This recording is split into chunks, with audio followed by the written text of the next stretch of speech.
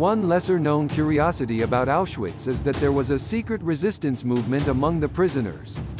Despite the extreme conditions and constant surveillance, some inmates organized underground networks, smuggling in and distributing contraband items such as food, medicine, and even weapons. They also risked their lives to gather evidence and testimonies of the atrocities being committed. This resistance movement played a crucial role in documenting the horrors of Auschwitz and ensuring that the world would come to know about the crimes committed within its walls.